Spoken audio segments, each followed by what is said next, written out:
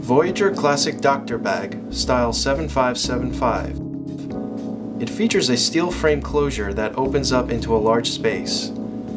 This space can hold all of your essential items for your commute or weekend getaway. As you can see, it can hold a lot of items. This interior zipper pocket is perfect for your important documents. On the other side, we have three organizer pockets for your everyday items. Another zipper pocket can hold your tablet. It also features a back zipper pocket for quick access to your important items. A trolley strap for when you travel. You can use the adjustable shoulder strap to carry over your shoulder, or you can carry by hand with our comfortable handle.